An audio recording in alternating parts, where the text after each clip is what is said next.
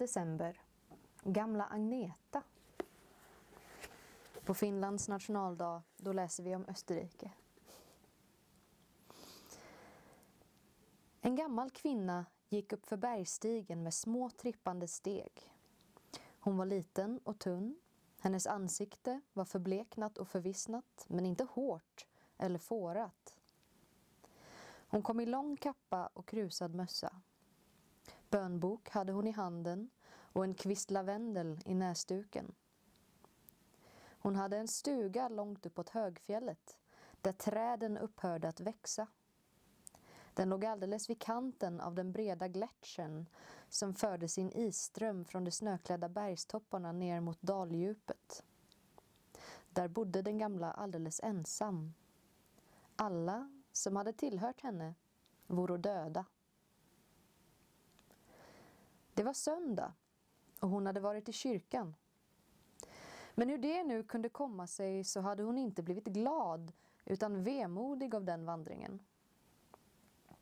Prästen hade talat om döden och det osaliga och detta hade gripit henne. Plötsligt hade hon påmint sig att hon hade hört berättats i sin barndom att många osaliga pinades i den eviga kölden på bergstoppen ovanför hennes boning. Hon påminde sig saga efter saga om dessa gletschervandrare, dessa outtröttliga skuggor som jagades av de iskalla bergsvindarna. Hon kände med ens djup fasa för berget och tyckte att hennes stuga låg fruktansvärt högt uppe. Om nu de som osynliga färdades där på höjden av Alpen tog vägen ut för gletscherna och hon som var alldeles ensam. Vid det ordet, ensam, tog hennes tankar en ännu bedrövligare riktning. Nu stod hon åter mitt inne i den sorg som tärde henne alla dagar. Hon kände det hårt att vara så långt borta från människor. Gamla Agneta, sade hon högt till sig själv, som det, skulle, som det hade blivit hennes vana där i ödemarken. Du sitter uppe i din stuga och spinner och spinner. Du får slita och sträva alla dagens timmar för att inte förgås av hunger. Men är det någon som har glädje av att du lever? Är det någon, gamla Agneta? Hade du en av de dina i livet kunde det vara så. Bodde du längre neråt bygden vore du väl till glädje för någon. Så fattig som du är kunde du varken ta, dig till, ta till dig hund eller katt, men du kunde väl ibland låna hus åt en tiggare. Du, kunde, du skulle inte bo så långt åt stråkvägen, gamla Agneta. Om du bara en enda gång finge ge en törstig vandrare en dryck vatten så visste du ändå att du levde till någon nytta. Hon suckade och sade sig att inte ens bondkvinnorna som lämnade henne spånad skulle sörja hennes död. Nog hade hon sökt att göra ett ärligt arbete men det fanns väl många som kunde göra det bättre. Hon kom i riktig gråt då hon besinnade att herr kyrkoheden som hade sett henne på samma plats i kyrkan under alla dessa herrans år kanske skulle tycka det var alldeles lika gott om hon vore där eller inte. Jag är som en avliden, sa hon. Ingen frågar efter mig. Jag kunde lika så gärna lägga mig att dö. Jag är redan förfrusen i kölden och ensamheten. Jag är hjärtefrusen. Det är jag. Kors ja, kors ja, sa hon. Ty nu var hon riktigt i farten. Om här bara funnits någon som behövde mig så skulle det väl ännu finnas värme i gamla Agneta. Men kan jag sticka strumpor åt stenjätterna kanske? Eller bädda sängar åt murmeldjuren? Det säger jag dig, sa hon och sträckte handen mot himlen. Att du får skaffa mig något, någon som behöver mig. Annars lägger jag mig att dö. I detsamma kom en hög och allvarlig munk emot henne. Han slog sällskap med henne därför att han såg att hon var bedrövad och hon berättade för honom om sin sorg. Hon sade att hjärtat höll på att frysa bort i henne och att hon skulle bli som en av vandrarna på gletscherisen om inte Gud gåvo henne något att leva för. Det kan väl Gud göra, sa munken. Ser du inte att Gud är maktlös här uppe, sa den gamla Agneta. Här finns ingenting annat än den kalla, tomma ödemarken. De kom allt högre upp mot Alpen. Mossan låg mjuk över hällarna. Alpväxter med ludna blad kantade stigen. Högfjället med klyftor och stup, med isfält och snömassor stod framför dem så överhängande och tungt att bröstet sammantrycktes. Då såg munken gamla Agnetas stuga alldeles under gletschern. Åh, sa han, är det här du bor? Då är du inte ensam. Här har du sällskap nog. Se bara. Munken satte ihop pekfingret och lillfingret, höll upp dem för gungmans vänstra öga och bad henne se upp mot berget. Men gamla Agneta ryste och slöt ögonen. Är det något där att... Är det något att se där uppe så vill jag inte alls se det, sade gamla Agneta. Bevara oss, bevara oss. Här kan vara hemskt nog i alla fall. Ja, farväl då, sa munken. Det lär inte bjudas dig en annan gång att se något sådant. Gumman blev nyfiken. Hon slog upp ögonen och skådade upp mot snöfälten. Hon såg ingenting underbart i förstone. Men så började hon märka hur det rörde sig där uppe. Hon såg vitt röra sig mot vitt. Vad hon hade trott var dimma och dunst och blåvitas skiftningar i isen, det var massor av osaliga som pinades i den eviga kölden. Lilla gumman Agneta stod och riste som ett löv. Det var allt så som de gamla hade berättat i sina sagor. De döda vandrade där uppe i oändlig pina och ångest. De flesta vore insvepta i något långt vitt, men alla hade de nakna fötter och obetäckta huvuden.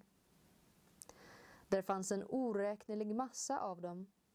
Flera och flera kom fram ju längre hon såg. Somliga gingo stolta och högresta, andra kom och svävande som om de dansade över isfälten. Men hon såg hur de, hur de ena som de andra skuro sina fötter blodiga på taggar och iskanter. Det var alldeles som i sagorna. Hon såg hur de oupphörligen slöt sig intill varandra, liksom för att få värme. Men ögonblickligen skildes de åt, skrämda av dödskylan som utströmmade från deras kroppar. Det var som om kölden på berget hade kommit ifrån dem som om just de höll snön osmält och dimman bitande. Alla rörde sig inte. Några stod stilla i frysande förstening och tycktes ha stått så under åratal, ty snö och is hade hopat sig omkring dem så att blott överkroppen syntes. Ju längre den lilla gumman såg, desto lugnare blev hon. Rädslan övergav henne men i dess ställe blev hon hjärteligen bedrövad över alla dessa plågade. Det var inte ett uppehåll i plågan, ingen vilostad för de sårade fötterna som ilade fram över is, skärade, skär, skärande som vässat stål. Och som de fröso, så de skälvde och huttrade av köld, de som vore förstenade och de som kunde röra sig. Allo alla fröso av svidande, skärande, outhärdlig köld. Där funnits många unga, gossar och flickor. Men det syntes ingen ungdom i deras blåfrusna ansikten. Det såg ut som om de lekte, men all glädje var död. De huttrade av köld, ryste och kröp ihop som åldringar medan deras nakna fötter tycktes söka ut de mest vasskantade isstyckena att stiga på. Det som rörde sig mest, det som rörde henne mest, var att se dem som låg inbäddade i den hårda gletscherisen och de som hängde som stora istappar ner från fjällsidorna. Då tog munken bort sin hand och gamla Agneta såg blott de tomma, nakna snöfälten. Några tunga ismassor låg och kringströdda här och där, men de omgärdade inga förstenade spöken. Den blå glansen på gletschern kom inte av infrusna kroppar. Vinden jagade några lätta snöflingor, men inga andar. Men hon var dock viss om att hon hade sett riktigt och hon frågade munken Är det tillåtet att göra något för dessa osaliga? Han svarade När har Gud förbjudit kärleken att öva gott eller barmhärtighet att hugsvala? Därmed gick han och gamla Agneta skyndade in i sin stuga och satte sig att tänka. Hela kvällen grubblade hon över hur hon skulle kunna hjälpa de osaliga som vandrade på gletscherna. Hon hade inte tid att komma ihåg sin ensamhet. Nästa morgon gick hon åter neråt bygden. Hon log och var rask. Ålderdomen var inte mer så tung för henne. De döda, sa hon till sig själv, frågar inte stort efter röda kinder och lätta fötter. De begär blott att man kommer ihåg dem med lite värme. Men på sånt kan inte de unga tänka. Jo, jo, men var skulle de hädanfarna skydda sig mot dödens omättliga köld om inte de gamla uppläte sina hjärtan för dem? När hon kom till handelsboden köpte hon där en stor knippa ljus. Och hos en bonde beställde hon ett stort lass ved men för att kunna betala detta måste hon ta emot dubbelt så mycket spånad som vanligt. Mot aftonen, då hon åter var hemma, läste hon många böner och sökte hålla sig modig med att sjunga fromma sånger. Men modet sjönk allt mer hos henne. Lika fullt gjorde hon vad hon hade satt sig i sinnet att göra. Hon bäddade sin säng i den inre kammaren av sin stuga i den yttre reste hon ett stort fång ved i eldstaden och antände det. I fönstret ställde hon två ljus. Stugdörren slog hon upp på vid gavel. Därpå gick hon och la sig. Hon låg i mörkret och lyssnade. Jo, det var bestämt steg. Det var som om någon hade kommit åkande neråt gletschern. Det kom släpande och stönande. Det smög omkring stugan som om det inte tordes gå in. Tätt vid knuten stod det och huttrade.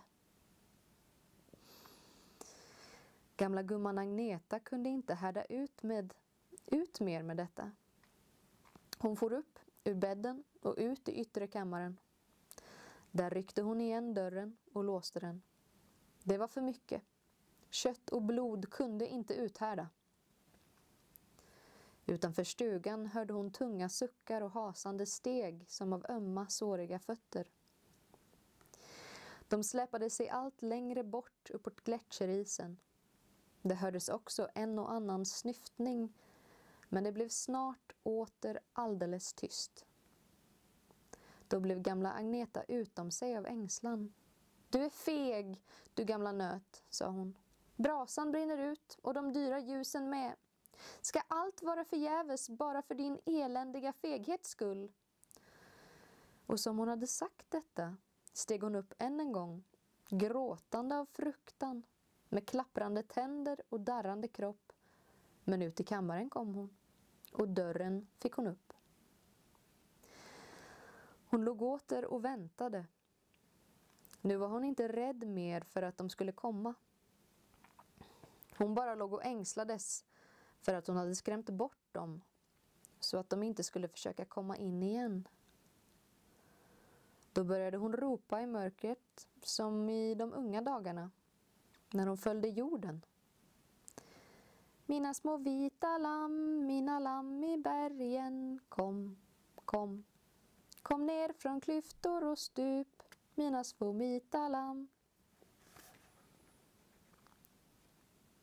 Då var det som hade en hård vind från fjällen kommit och farit in i stugan. Hon hörde inga steg eller suckar, bara vindstötar som brusade omkring knuten och veno in i stugan. Och det lät som om någon oupphörligen varnade. Shh, shh, skräm inte, skräm inte, skräm inte. Och hon hade en förnimmelse av att de, det yttre rummet var så packande fullt att man trängdes upp mot väggarna och höll på att spränga dem. Ibland var det som om de där ute skulle lyfta på taket för att få utrymme. Men alltid var det någon som viskade Shh, shh, skräm inte, skräm inte. Då kände sig gamla Agneta lycksalig och lugn. Hon knäppte sina händer och somnade. På morgonen var det som om allt hade varit en dröm. Det var sig likt i det yttre rummet. Brasan var utbrunnen och ljusen med. Det fanns inte så mycket som en droppe talg i stakarna. Så länge gamla Agneta levde fortsatte hon att på detta sätt sörja för de döda. Hon spann och strävade så att hon kunde hålla sin brasa brinnande alla nätter. Och hon var lycklig eftersom hon visste att någon behövde henne. Så kom det en söndag då hon inte sågs på sin plats i kyrkan. Några bönder gingo upp till hennes stuga för att se om något fattades henne. Då var hon redan död och de buro ner liket med sig neråt bygden för att begrava det. När gamla Agneta nästa söndag sattes i jorden, strax före mässan, var det ett ganska ringa antal människor som följde henne. Inte heller såg man sorg i någons ansikte. Men plötsligen, just då kistan skulle sänkas, kom en hög och allvarlig munk in på kyrkogården och han ställde sig att peka uppåt den snöklädda alpen. Då såg de som stod vid graven att hela alpen hade klätt sig i skäraste rött, liksom sken den upp av glädje och att mitt över den slingrade och att mitt över den slingrade sig ett tåg av små gula lågor som av brinnande ljus. Och dessa ljus voro lika många som de ljus den döda hade givit de osaliga. Då sade folket, prisad vare Gud. Hon som ingen här nere sörjer har dock kunnat finna vänner där uppe i den stora ödsligheten.